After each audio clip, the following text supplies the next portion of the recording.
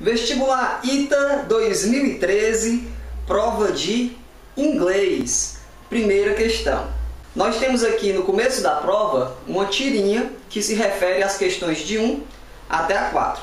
Tem escrito aqui: as questões de 1 a 4 referem-se à tirinha a seguir. Então vamos lá, vamos à leitura da tirinha. Job interview. I research your personal brand online.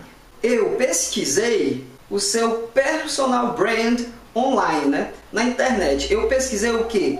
Eu acho que suas informações pessoais, concorda comigo? Personal brand. O candidato então fala, my what? Meu o quê? Aí o entrevistador continua. I looked at your blog. Ou seja, eu olhei, né, dei uma olhada no seu blog. Your tweets, seus tweets. And your Facebook page e sua página no Facebook. I googled your name and followed every link. Eu coloquei seu nome no Google e segui, né, cada link. Ele clicou em cada link, ele está pesquisando a vida do candidato pela internet, né? Então ele fala assim: I checked your credit, criminal record, school transcripts and references. Eu verifiquei o seu crédito, acredito que é tipo SPC, né? Serasa, essas coisas. Criminal Record, que é o registro criminal para ver se ele já tinha sido preso, alguma coisa assim. School Transcripts. Agora, eu acredito que transcripts, eu não sei o significado exato agora aqui não, mas depois eu vou pesquisar, vou botar aqui na tela. Eu acredito que school transcripts será o quê?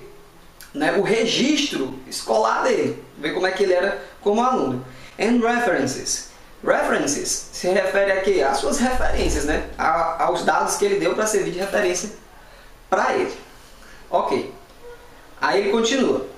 But that's just the external stuff. Mas isso é somente as coisas né, externas. Stuff é coisa. Ah, professor, mas thing também é coisa. Eu sei. Mas stuff também. Pode ter mais de duas palavras com um significado semelhante, na é verdade? Bom, quando ele fala isso, né? Ah, mas isso é somente o material, as coisas externas, externas, external stuff. Aí o candidato fala assim: Exactly, it's my attitude that counts. Exatamente, é minha atitude que conta. Para espanto do entrevistado, o entrevistador fala assim: No, I mean, I also have the results of your urine test. Não, o que eu quero dizer é que eu também tenho os resultados do seu exame de urina. Então, coisas externas é fora do corpo, coisas internas é, ele estava querendo dizer que eram coisas de dentro do corpo, como por exemplo, exame de urina. Aí ele fala aqui: Oh, and apparently some of your sample landed in a DNA test kit. Ou seja, eu, um, e aparentemente parte da, do seu, um, da sua amostra, né, parou, né, landed. Land, que eu saiba, é aterrissar, mas pelo contexto aqui significa algo como foi parar, né, num teste, num kit de teste de DNA. Ou seja, eles avaliaram até o ou seja, eles avaliaram até a urina dele para fazer um teste de DNA. Aí ele continua aqui. And that tanning bed you used last week was actually an MRI. Esse, esse quadrinho é, é muito legal. Tanning, talvez seja uma palavra que você não conheça. Tanning, eu sei que tan, né, T-A-N, tan, é bronzeado. Então, tanning bed seria o que? Aquela câmara, né? aquela cama que a pessoa se deita para pegar aquele bronzeado artificial. Eu sei dessa palavra, tanning, por causa de um episódio de Friends. Um, episódio no qual o Ross passa várias vezes por uma câmara de tan, uma tanning camera, que é, na verdade era um bronzeamento artificial que eles faziam lá, tipo pintando a pele da pessoa. Aí nesse episódio de Friends eu vi muito tan, tan, a tanning, então eu fiquei lembrando que tan é de se bronzear. Aí o entrevistador está falando. In that tanning bed, ou seja, aquela cama de bronzeamento, you used last week, que você usou semana passada, was actually an MRI. Era, na verdade, um MRI. O que é um MRI? MRI, eu aprendi, sabe aonde? Dr. House, exatamente. Rapaz, quase todo episódio de Dr. House, eles usam o famoso MRI, que é para diagnosticar alguma doença. MRI é aquele aparelho que eu acredito ser de ressonância magnética, que a pessoa entra assim, né? Tem tipo uma cama, entra, aí tem um tubo, né? No qual a pessoa entra, aí faz lá tipo um raio-x mais elaborado, né? Seguindo em frente, né? How's your attitude now? Ah, como é que tá? O, o entrevistador pergunta, e aí, como é que tá a tua atitude agora? Depois que você sabe, né, que a gente sabe tudo sobre a sua vida. Porque o cara olha na internet e descobre quase tudo a respeito da vida dele. Como se não fosse suficiente, ainda faz exame de urina, certo? Faz o exame lá no MRI, exame de DNA, você sabe tudo da vida do cara. A entrevista é quase desnecessária, né? Aí o, o entrevistado fala, harder to fake, difícil de fingir.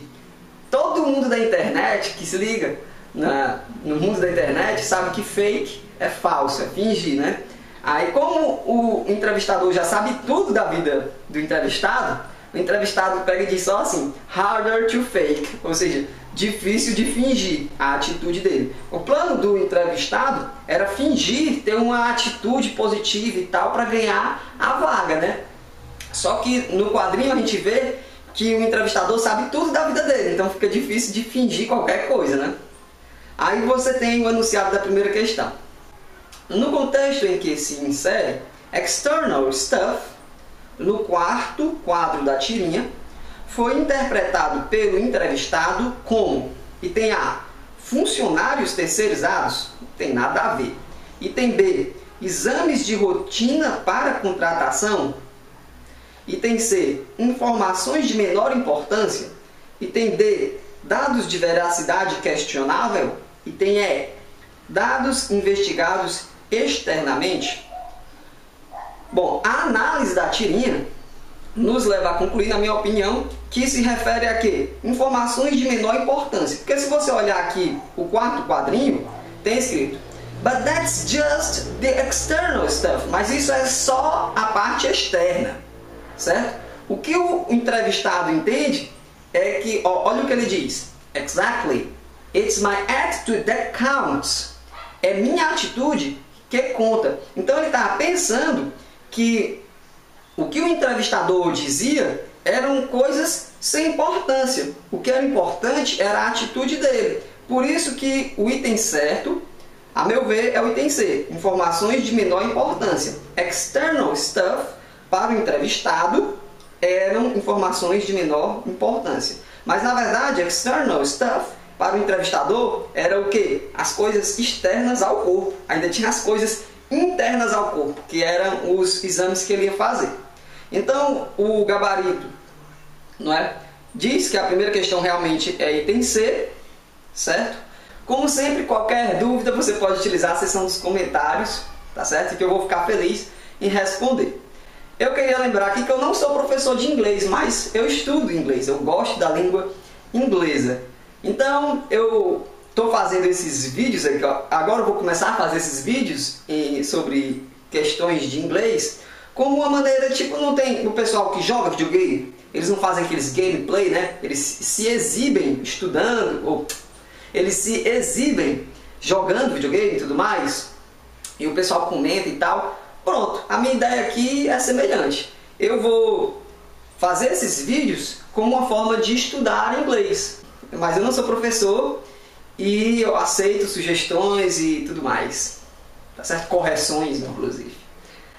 Uh, eu sou professor particular de matemática aqui na cidade de Fortaleza. Se você quiser ter aula comigo, particular de matemática ou de inglês, você pode entrar em contato comigo pelo Facebook. A gente fica por aqui, um abraço e até a próxima.